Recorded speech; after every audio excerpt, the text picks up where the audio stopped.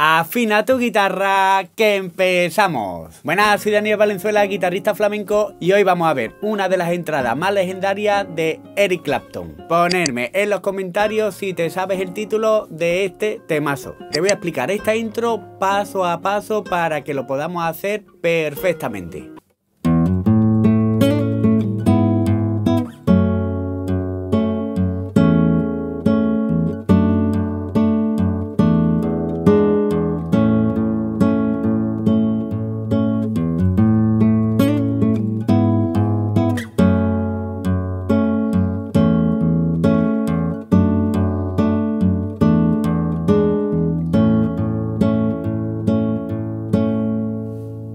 Vaya a ver qué facilita e esta intro. Mira, la primera nota sería un 0 en la sexta, ligamos al 2 en la sexta, que yo utilizo el dedo 1, ¿de acuerdo? Entonces sería esto. Y ahora 0 en la quinta. Ahora ponemos La mayor, que yo lo que hago es ponerlo con un solo dedo, que sería un Do en la cuarta y un Do en la tercera y un 2 en la segunda. Y lo que voy a tocar es el Do en la tercera y ahora un 2 en la segunda ligado al 3 y al 2. ¿Vale? Sería esto. Y otra vez el do en la tercera. ¿Vale? Lo voy a hacer muy despacito. Ahora lo que ponemos es un 4 en la sexta cuerda, con otro 4 en la tercera y un 5 en la segunda cuerda. ¿Vale? Y tocamos la sexta, la tercera en la segunda. Yo realmente lo voy haciendo con anular y medio, ¿de acuerdo? Todo, mira. El pulgar primero, también pulgar ahí y ahora el medio y el anular. Pero lo puede hacer con, con índice y con medio. Pero me gusta más cómo me suena con los otros dedos, ¿de acuerdo? Y ahora aquí, todo junto. Y ahora sigo con este acorde y lo que toco es el 4 en la sexta y ahora el, la segunda y la tercera. ¿vale? Que sería un 4 en la tercera y un 5 en la segunda, ¿vale? Lo voy a hacer hasta ahí muy despacito.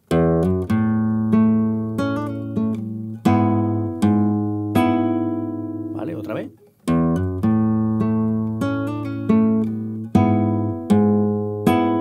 Y ahora me voy al Fa menor, que es un 2 en la sexta, un 2 en la tercera y otro 2 en la segunda, y todo a la vez. ¿Vale? Sexta, tercera y segunda. Y ahora esta parte que realmente a mí la que más me lía, ¿de acuerdo? Pero es muy fácil, sería una vez que ya he hecho todo junto, ahora hacemos un 2 en la sexta y lo que vamos haciendo es 2 en la tercera con el 2 en la segunda. Vamos haciendo esa parte, ¿vale? Sería esto.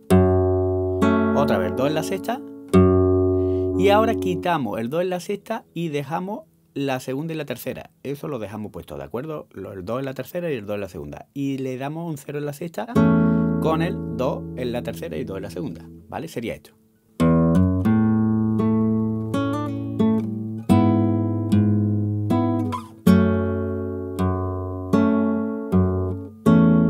Y ahora seguimos con el cero en la sexta y contestamos con la segunda y la tercera, ¿vale? Y otra vez cero en la sexta. Y ahora lo que hacemos es lo mismo, pero un 3 en la segunda cuerda, ¿de acuerdo? Antes era aquí y ahora sería aquí. Y lo mismo, 2 en la sexta con el 2 en la tercera y el 3 en la segunda. Y ahora vamos contestando otra vez el 2 en la sexta y la segunda y la tercera. Ahora otra vez el 2 en la sexta y ahora 0 en la sexta con el 2 en la tercera y el 3 en la segunda. ¿Vale? Sería esto. Ahora otra vez 0 en la sexta. Ahora lo que hacemos es, en vez de un 2 en la tercera, ponemos un 1 en la tercera.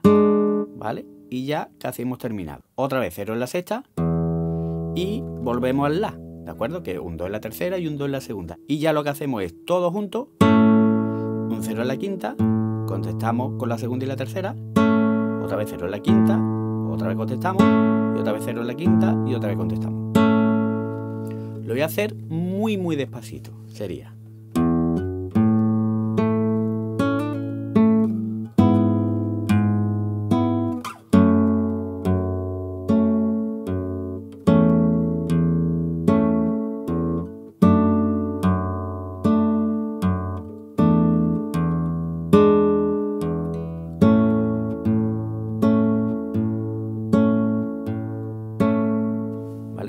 Hacer un poquito más rápido para que veáis un poco el sentido.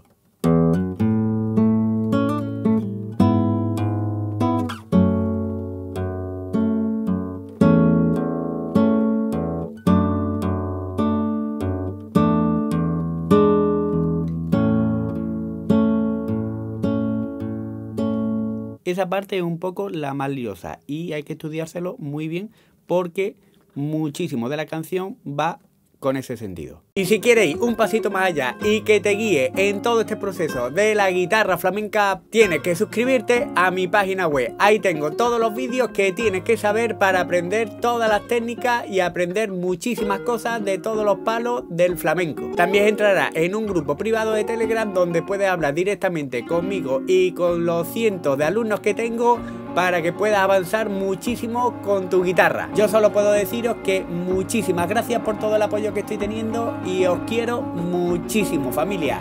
Nos vemos en el próximo vídeo. ¡Hasta luego!